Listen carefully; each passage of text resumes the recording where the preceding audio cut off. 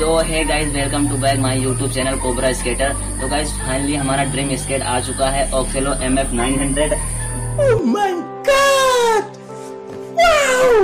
जिसका हम unboxing review करने वाले हैं। तो चलो फिर चलते हैं वीडियो के आगे।